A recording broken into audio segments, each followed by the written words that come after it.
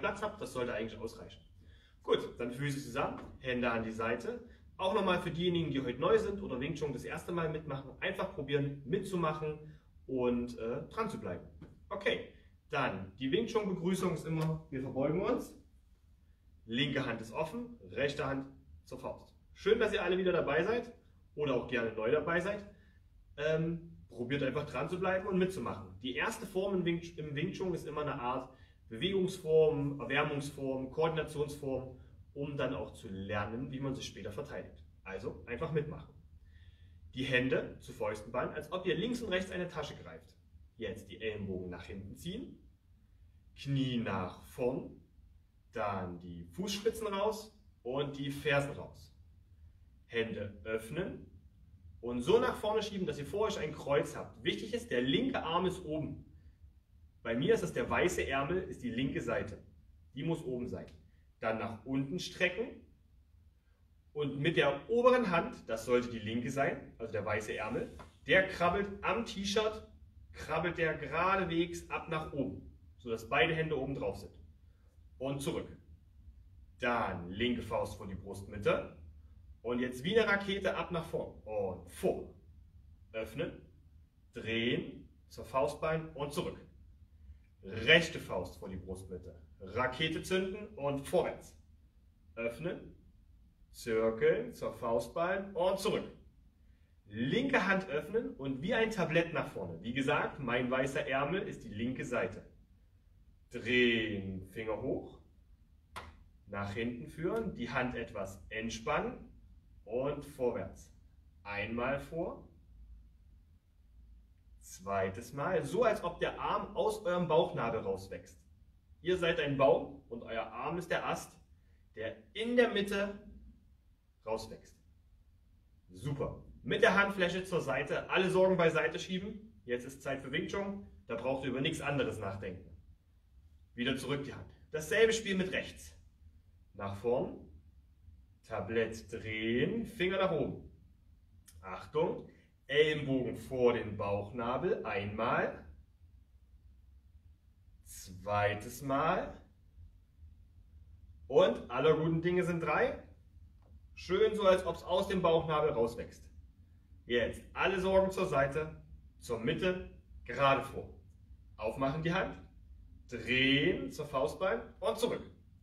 Linke Hand runterdrehen, runterdrücken, als ob ihr einen Ball unter Wasser drückt. Schon mal üben für den Sommer, wenn wir dann wieder im Pool können. Hände nach hinten, nach hinten strecken, Finger zeigen aber eure, zu eurem Popo. Das darf ruhig ein bisschen anstrengend sein in den Armen. Wieder ran, Hände zeigen nach vorne, sodass jeder sehen kann, ob ihr Hände gewaschen habt. Und runter. Links ist oben. Mit den Augen links schauen, rechts schauen, rausstrecken. Rechts ist oben. Nach vorn drehen. Jetzt die Finger hoch zur Nase. Rumdrehen, die Ellenbogen kurz auf dem Bauch ausruhen. Ganz nach vorn strecken. Runter. Anwinkeln zum Kinn hoch, zur Faustbein und zurück. Mit links alle Sorgen wieder zur Seite schieben, zur Mitte, vor. Die Finger müssten dabei nach links schauen. Und zurück. Rechte Hand zur Seite schieben, zur Mitte, gerade vor.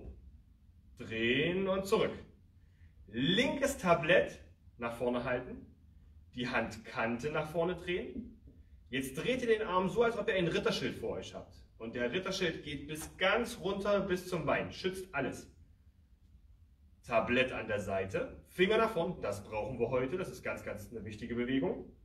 Nach vorn von dem Bauchnabel und zurück. Nochmal mit rechts, Tablett in der Mitte. Kante in der Mitte.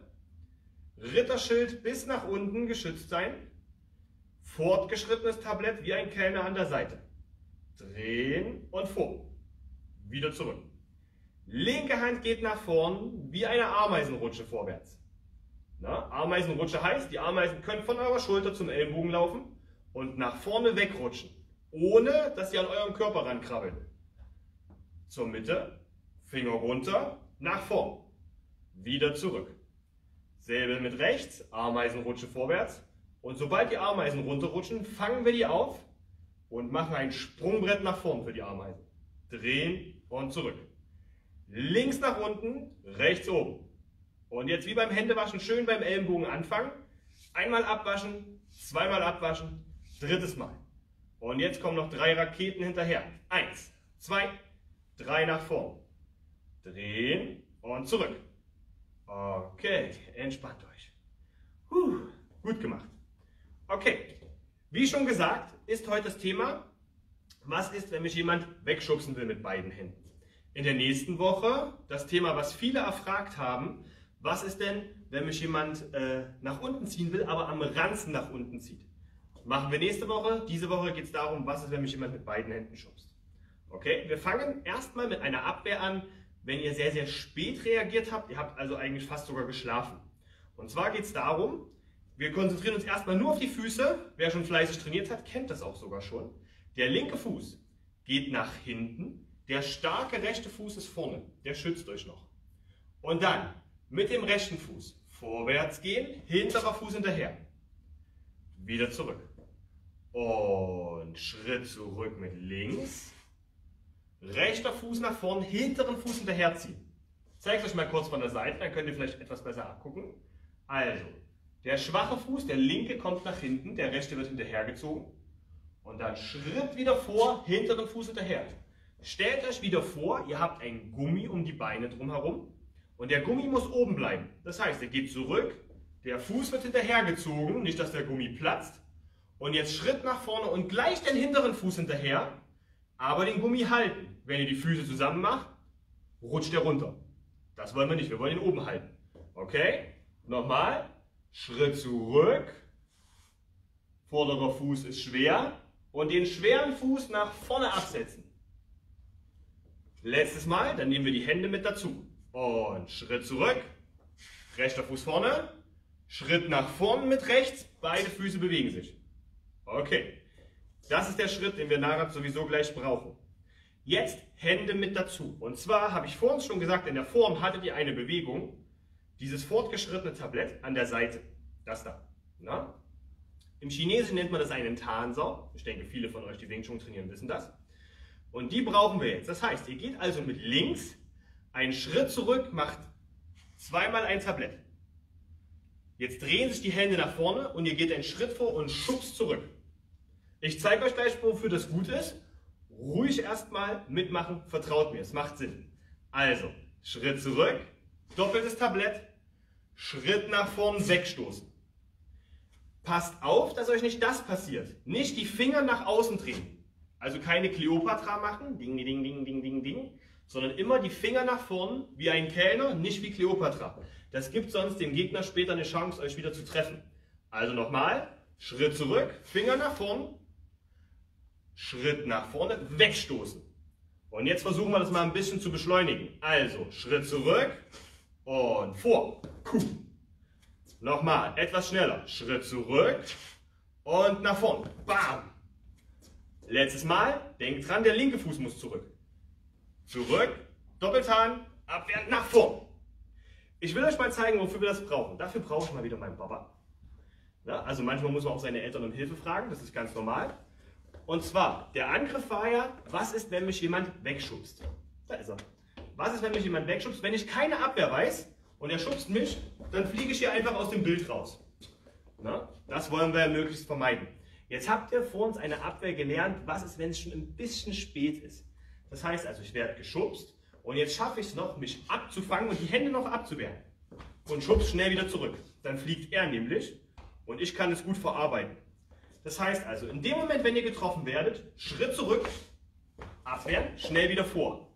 Achtung, versucht euch zu erinnern, ich habe gesagt, wenn ihr die Finger nach außen nehmt und die Hände zu weit rausnehmt, kann der Gegner das gegen euch verwenden.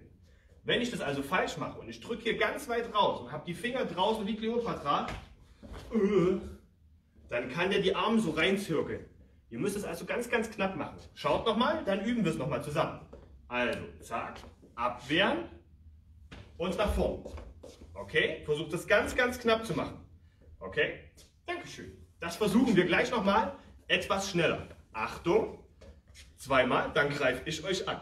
Und Schritt zurück, abwehren und vor. Sehr gut. Gleich nochmal. Schritt zurück, dabei abwehren nicht vergessen und ab nach vorn. So, jetzt seid ihr dran. Ich greife euch an. Versucht also bitte mit meinem Tempo mitzuhalten. Achtung, der Angriff kommt, zur Seite abwehren und boom, wegschubsen. Genau. Gleich nochmal, versucht hier schön die Schultern zu treffen. Nicht in die Brustmitte, sondern die Schultern treffen. Dadurch schaffe ich es nämlich nicht nochmal zu hauen. Und los, Schritt zurück. Ja, und die Schultern treffen. Pam, genau. Und los, etwas schneller. Schritt zurück, Hände abwehren, boom. Okay, letztes Mal, etwas schneller und los. Sehr gut. Das klappt also. Das freut mich sehr. Wenn irgendwelche Fragen zwischendurch sein sollten, schreibt es bitte in die Kommentare rein. Dann kann ich euch Tipps geben, helfen. Wenn ich zwischendurch nicht sehen sollte, dass irgendjemand einen Kommentar geschrieben hat oder eine Frage hat, werde ich es auf jeden Fall im Nachhinein versuchen zu beantworten. Na? Also scheut euch nicht, ruhig in die Kommentare rein mit eurer Meinung oder mit euren Fragen. Okay, und zwar, nächstes. Jetzt war das natürlich relativ spät, der andere hat mich getroffen. Besser wäre es natürlich vorneweg bereit zu sein und abzuwehren. Wir brauchen für die nächste Variante genau denselben Schritt. Also ihr geht einen Schritt zurück, rechter Fuß ist vorne, der Schritt geht vor. Aber wir machen eine etwas andere Abwehr. Und zwar, Füße sind nebeneinander, Schritt zurück, beide Hände sind vorne. Ich möchte zeigen, dass ich keinen Streit will. Der soll eigentlich fern von mir bleiben. Ich zeige auch meine offenen Hände, damit er ganz genau weiß, der soll Abstand halten. Und jetzt mache ich folgendes. Jetzt wehre ich erst die eine Hand ab, dann die andere Hand und schubs mit meiner starken rechten Hand den zurück. Okay? Gleich nochmal. Ruhig mitmachen. Und Schritt zurück. Abwehren. Abwehren. Vor. Achtung. Schritt zurück. Linker Fuß ist hinten. Beide Hände sind vorne. Ich möchte das nicht. Einmal abwehren. Zweites Mal abwehren. Vor. Kleine Eselsbrücke zum Merken. Und zwar, was ich immer den Kindern hier beim Training erzähle, ist folgendes. Ein kleiner Merkspruch, damit sich diese Abwehr besser merkt, weil die ist schon etwas kompliziert. Geht einen Schritt zurück, ihr wollt es nicht, und jetzt macht ihr folgendes. Wie beim Bäcker. Backe, backe, Kuchen. Versucht den Kuchen in den Ofen reinzuschieben. Okay? Oder, wenn ihr jetzt nicht so gerne Bäcker seid, dann halt Postbote. Postboten machen das auch ganz toll. Die machen folgendes. Die packen das Geschenk ein, verpacken das Ganze und schicken es ab. Okay? Das, was ihr euch besser merken könnt. Bei mir ist immer Backe, Backe, Kuchen einfacher. Ich esse nämlich gerne, sehr, sehr, sehr gerne Kuchen. Okay? Also, Schritt zurück, Hände vor, Backe, Backe, Kuchen nach vorn. Der muss aber schnell reingeschoben werden. Nochmal, Schritt zurück, abwehren, abwehren, vor. Ich zeige euch mal, wofür wir das Ganze brauchen. Na? Und zwar wieder. Brauchen wir wieder ein Papa? Naja. Zum Glück hilft er, zum Glück ist er immer da. Also, ganz wichtig ist jetzt, ihr müsst vorneweg reagieren, ihr müsst schon wach sein. Meistens weiß man ja eh, wer so ein bisschen Ärger und Stunk sucht. Wenn ich das schon sehe, gehe ich vorneweg zurück, Hände vor und jetzt kann ich die Abwehr machen. Das war jetzt mal etwas schneller. Langsam und dann nochmal schnell und dann üben wir es zusammen. Also, in Zeitlupe. Jetzt kann ich erst mit rechts abwehren, dann mit links abwehren, habe ihn so ein bisschen verknotet und gehe dann mit dem starken Arm nach vorn. Okay, schneller geht das Ganze natürlich auch. Das heißt also, hier sieht es schon fast gleichzeitig aus. Na, und wird natürlich dann etwas kleiner. Probiert es aber erstmal langsam, Schritt für Schritt nacheinander, ehe es dann zu schnell wird. Dankeschön. Das heißt, wir üben es noch zwei, dreimal zusammen, dann greife ich euch zu Hause an. Okay? Achtung, Schritt zurück, schön langsam. Abwehren, abwehren, vor. Gleich nochmal. Schritt zurück, abwehren, abwehren, vor. Letztes Mal etwas schneller und zurück, Backe, Backe, Kuchen nach vorn. Okay, ich hoffe, ihr seid fit. Ich greife euch an. Ich will euch schubsen. Ihr macht die Abwehr. Viele Erwachsene, die im Wing Chun trainieren, nennen diese Abwehr auch den Blitz 3. Okay? Vielleicht später, wenn ihr lang genug durchhaltet, müsst ihr das auch mal zur Prüfung vorzeigen. Also gut aufpassen. Achtung und Schritt zurück. Abwehren, abwehren und vor. Jawohl. Gleich nochmal. Achtung, ich schubse. Zack, abwehren, abwehren und vor. Okay, das ist gut. Versucht immer mit der Handfläche zum Brustkorb zu hauen. Ne, der wollte euch ja nur schubsen und nicht K.O. schlagen. Nicht, dass den seine Nase blutet und ihr kriegt am Ende Ärger. Schubst den weg, dass ihr viel Abstand habt, dass der Lehrer sieht, ihr wolltet das nicht. Okay, nochmal. Und abwehren und vor. Schön die Hände vorne lassen. Schön die Hände vorne. Und zurück. Eine Hand, zweite Hand und vor. Letztes Mal schnell. Und zurück. Backe, Backe, Kuchen. Wow. Sehr schön. Okay. Das war also die Abwehr, wenn es etwas besser vorbereitet ist, ihr von vorne weg abwehren könnt, so werdet ihr am besten gar nicht getroffen. Gibt es zu diesen zwei Varianten denn eine Frage? Ich schaue mir mal ganz kurz die Kommentare an. Bevor wir weitermachen, liebe Grüße aus New York. Oh, liebe Grüße zurück. Cool. Was ist, wenn man von hinten angegriffen wird? Der Angriff von hinten, wenn uns jemand von hinten runterzieht, hatten wir letzte Woche, Benjamin. Da kannst du einfach mal auf YouTube oder hier auf den Facebook-Kanal schauen. Und nächste Woche geht es darum, was ist, wenn jemand von hinten den, äh, den dich am Ranzen runterzieht oder den Rucksack nach unten zieht sozusagen. Wenn du das irgendwie anders meinst, die Frage, dann bräuchte ich einen genaueren Angriff, also wie du den Angriff meinst. Hat sonst jemand eine Frage zu dem, was ist, wenn jemand mit beiden Händen schubst? Zu den Abwehren, die wir da gemacht haben? Notfalls, wie gesagt, einfach in die Kommentare schreiben. Klasse Abwehr. Freut mich, wenn es hilft.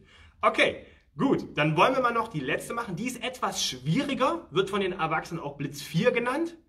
Aber ich denke, ihr kriegt das hin. Und zwar, wir fangen wieder bei den Füßen an. Okay?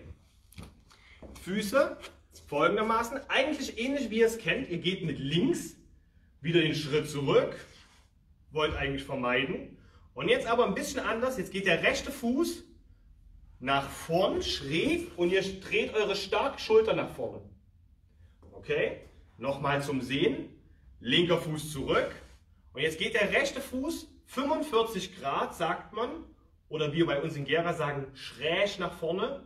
Ne, geh mit dem rechten Fuß schräg vor. Zur, bei mir ist es rot, bei euch die graue Schulter. Der Rech, die rechte Seite, die muss nach vorn. Immer die starke Seite nach vorne drehen. Seid ihr Linkshänder, müsst ihr das Ganze natürlich auf der anderen Seite machen. Okay? Also nochmal. Zurück. Schräg der Fuß vor, hinterherziehen. Einmal noch, dann nehmen wir die Hände mit dazu. Schritt zurück mit links, das bleibt gleich. Und jetzt aber nicht gerade vor, sondern etwas schräg rüber. Schräg rüber, Fuß hinterherziehen, starke Seite zieht nach vorn. Okay, wir nehmen die Hände mit dazu. Und zwar geht es jetzt darum, was ist, wenn der andere nicht so eng schubst, sondern die Hände etwas weiter außen hat, wenn der richtig weit ausholt. Dann sind eure Hände ja nicht außen, sondern die sind innen.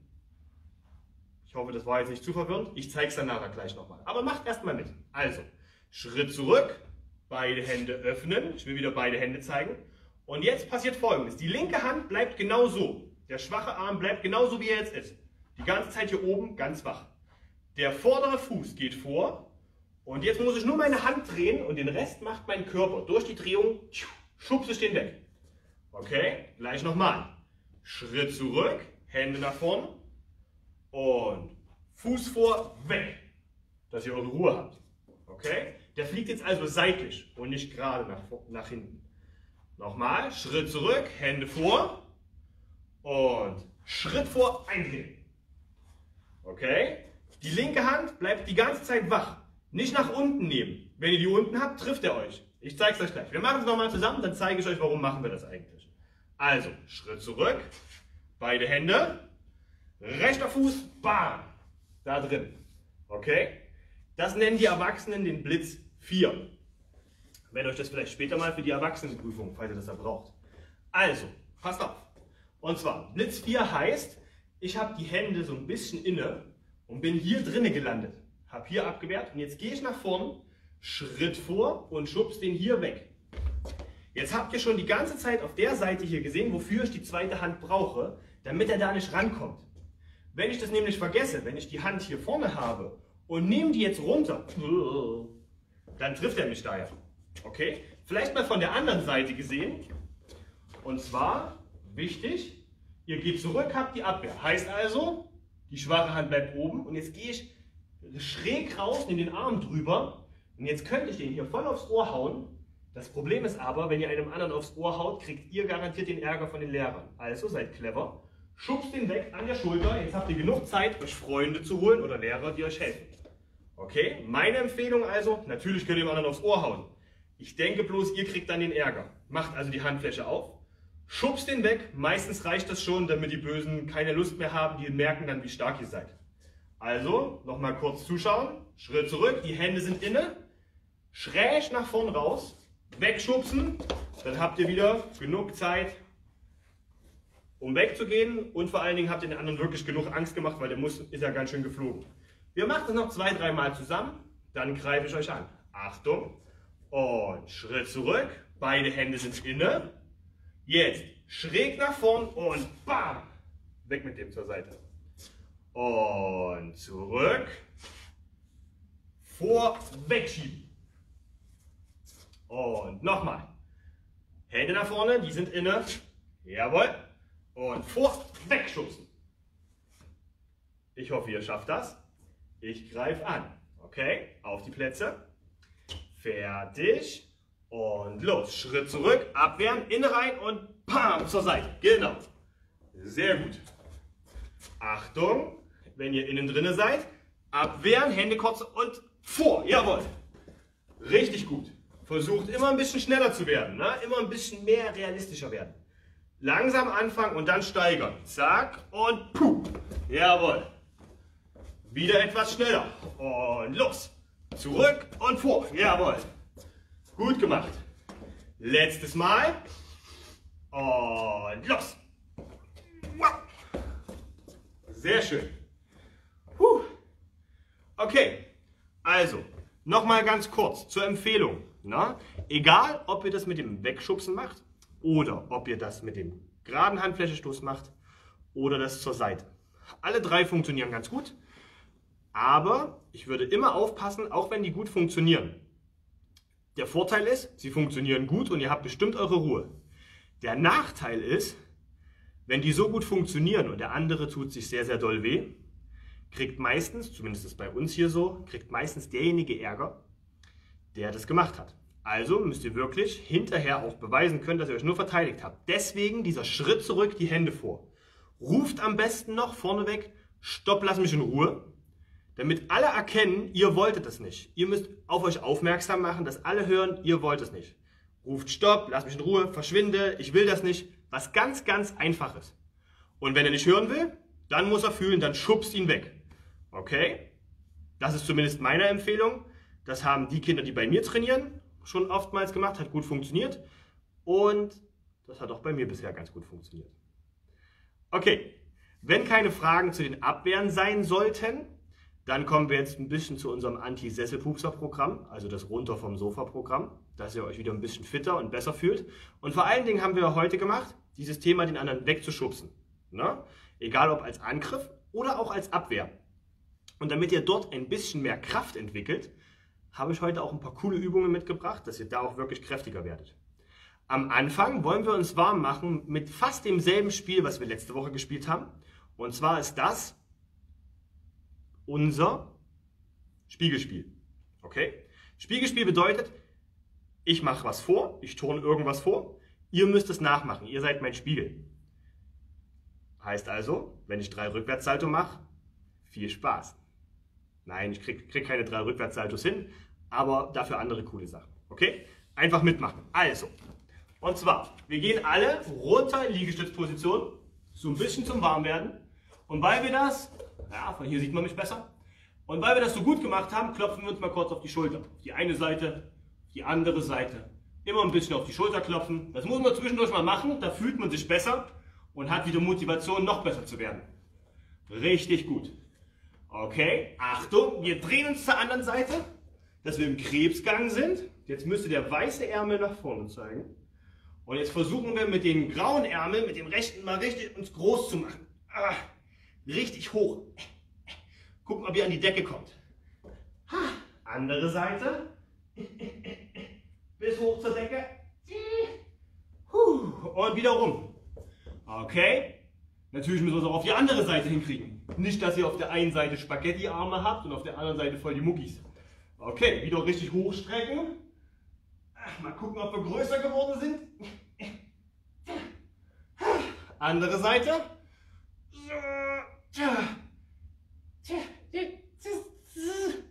Mist. Naja, gut. Okay, dann wieder zum Anfang zurück. Okay, jetzt probieren wir mal was Schwieriges. Jetzt versuchen wir nur mit einer Hand und einem Fuß den Boden zu berühren. Das heißt also, wir kratzen uns mit einer Hand am Kopf, die andere, der andere Fuß kommt hoch und halten. Halten. Ah. Okay, andere Seite. Jetzt krabbelt die andere Seite und der Fuß kommt nach oben. Ah, schön halten. Gut gemacht. Okay, Knie absetzen, Arme kurz ausschütteln. Sehr schön. Gut, kommen wir zu unserer nächsten Übung. Wer kann am besten schubsen? Und wer kann am besten schubsen, gibt es in drei Leveln. Das ist unser nächstes Spiel. Wer kann am besten schubsen, geht folgendermaßen. Ihr kniet euch hin, macht euch ganz, ganz gerade. Okay? Und jetzt probiert ihr folgendes. Wir probieren ganz, ganz gerade zu bleiben. Wir fallen nach vorn, stützen uns mit den Händen ab und versuchen uns total gerade wieder hochzudrücken. Ohne dass wir den Popo hochnehmen. Ich zeige euch das mal. Also, mal kurz von der Seite.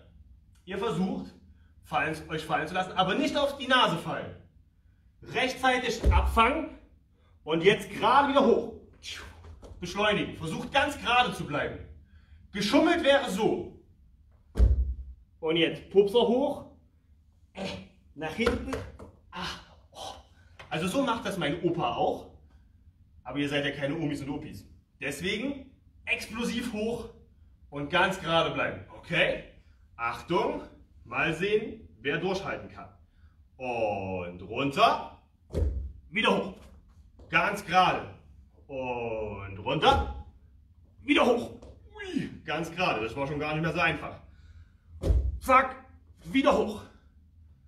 Und abfangen, wieder hoch. Alle guten Dinge sind drei. Los, das machen wir noch dreimal. Eins, und zwei. Und drei.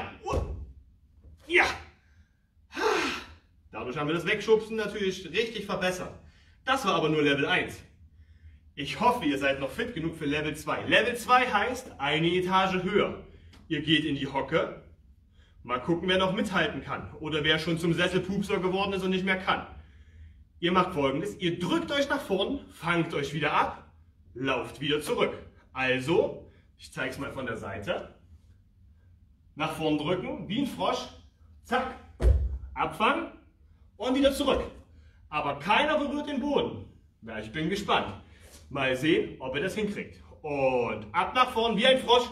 Abfangen, aber nicht mit der Nase den Boden berühren. Schön oben bleiben. Und wieder. Jawohl. Und nochmal. Zack. Das ist schon schwieriger. Los, noch drei Stück schaffen wir. Eins. Zwei. Und ein noch. Drei.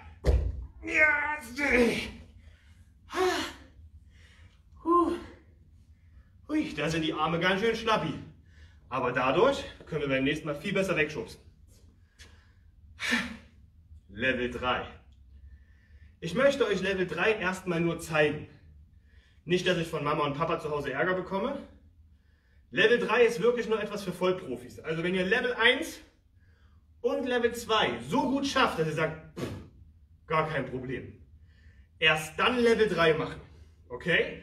Level 3 heißt nämlich, ihr stellt euch hin, nehmt den Popo etwas runter und jetzt passiert folgendes. Ihr lasst euch nach vorne fallen drückt euch ab und so drückt euch zum Schluss mit den Händen wieder, dass ihr steht. Also, pupst ein bisschen runter, ab nach vorn, wow, und wieder hochdrücken, dass ihr direkt die Arme wieder vorne habt, okay? Jetzt darf der Popo richtig nach oben. Okay? Pupser runter und fallen lassen, abstützen, wieder hoch. Aber versprecht mir, wirklich nur dann machen, wenn Level 1 und Level 2 sicher und super funktionieren. Gut, ihr Lieben. Leider ist das Training schon wieder vorbei. Wenn ihr möchtet, guckt euch einfach nochmal von vorne an. Macht es nochmal. Wenn ihr wollt, guckt euch gerne die anderen Trainingsvideos an. Ich würde mich sehr, sehr freuen. Nächste Woche ist wie gesagt das Thema, was ist, wenn mich jemand am Rucksack packt und den Rucksack, mich mit dem Rucksack nach unten ziehen möchte. Schaltet da unbedingt ein. Das waren einige Fragen oder einige, die dieselben Fragen hatten. Deswegen machen wir das sogar als extra Thema für euch. Okay? Gut, dann für diejenigen, die eigentlich los müssen, wünsche ich einen schönen Tag. Schön, dass ihr dabei wart. Dabei wart. Tschüssi, bis zum nächsten Mal.